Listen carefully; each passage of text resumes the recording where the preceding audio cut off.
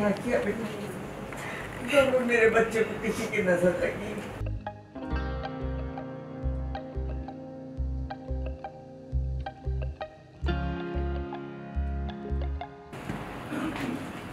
हादी तुषार सिर्फ़ आपकी ही सुनता है।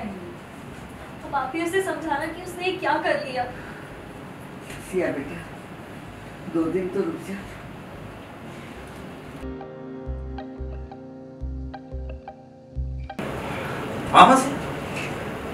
रुक जाओ। तुम्हारे भाई को तुम्हारे साथ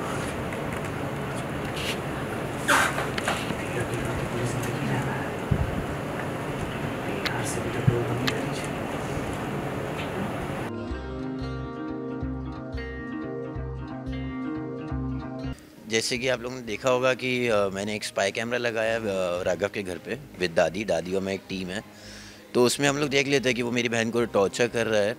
तो वो मुझसे देखा नहीं जाता, फिर उसके बाद विराज मुझे किडनैप कर लेता है। विराज मुझे मोटिवेट करता है कि भाई तू ऐसे कैसे चुप बैठ सकता है अपनी बहन के लिए स्टैंड ले, ये वो।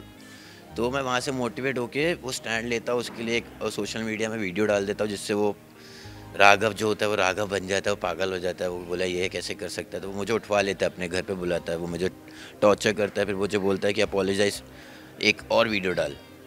तो वो मैं डालना तो नहीं चाहता बट वो मेरी एक बहन का वीडियो दिखा देता है, जिसमें वो कुछ मेकआउट एंड सीन है, वो कर रही होती है। तो मेरे को और फील हर्ट होता है कि वो अगर पब्लिक में आ गया तो और बेइज्जती।